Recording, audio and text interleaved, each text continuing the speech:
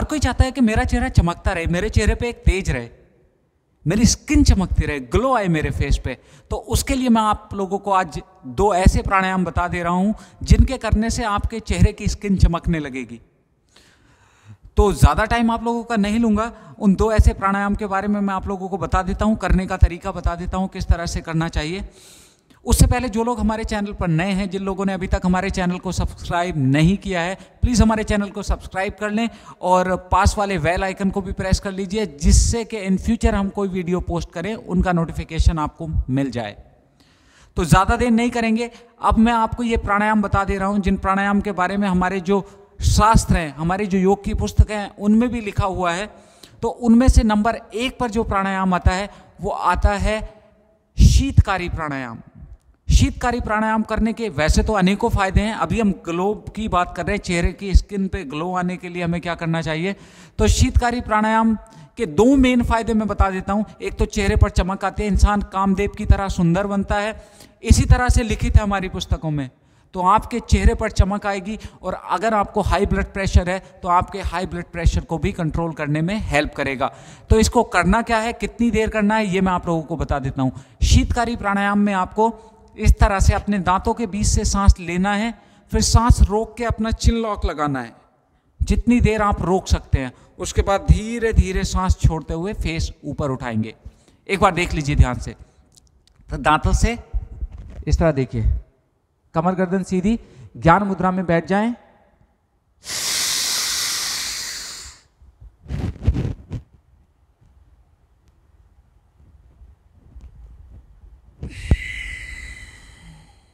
धीरे धीरे ऐसे सांस बाहर निकालना है।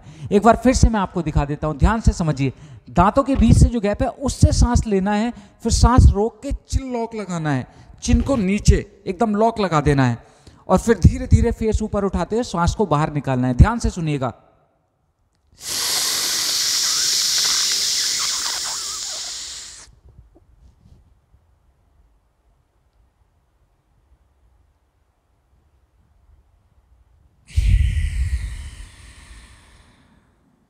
तो इस तरह से ये शीतकारी प्राणायाम आपको करना है। ये आपको हाई ब्लड प्रेशर को भी कंट्रोल करेगा बीपी में भी मदद करेगा, आपके चेहरे पर भी चमक लाएगा।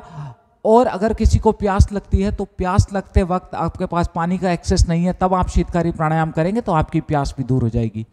उसके बाद नेक्स्ट प्राणायाम है, शीतली प्राणायाम। इसके ही जैसा है, बस करने का तरीका थोड़ा सा अलग है, वो मैं आपको बता दूँ। इसमें हम दांतों के बीच से सांस ले रहे थे, अब शीत ली प्राणायाम में हम क्या करते हैं, अपने जीप को मोड़कर जीप के थ्रू सांस लेंगे, चिन लोक लगाएँगे और फिर सांस छोड़ते हुए सांस छोड़ते हुए फेस ऊपर उठाना है। इसका भी तरीका समझिए। देखिए जीप को मोड़ लिया। इस तरह जीप को मोड़ना है और उससे सांस लेना है।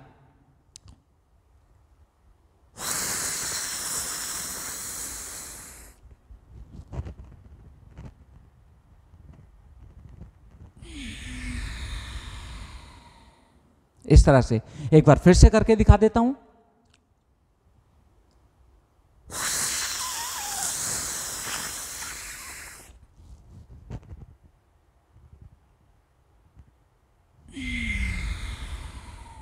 इस तरह से। सांस लेना है जीप से सांस रोकना है, फिर सांसों को बाहर निकालना है।